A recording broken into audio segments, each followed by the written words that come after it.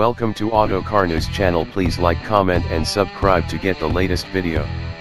Suzuki Philippines, SPH, upgrades its value-oriented Celerio and Alto 800 for the 2018 model year.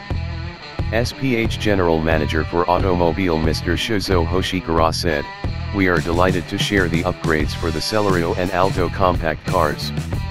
These upgrades are a testament to Suzuki's commitment to continuously improve its product portfolio and ensure that new and existing customers get the best of the Suzuki way of life.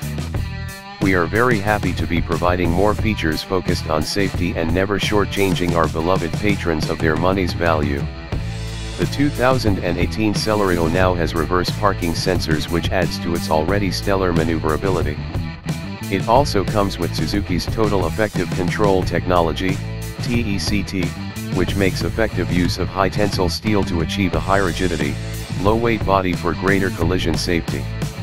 The upgraded Celerio is available in Pearl Snow White, Metallic Star Silver, Metallic Mineral Gray, Pearl Super Black, Pearl Ablaze Red, and Prime Cerulean Blue.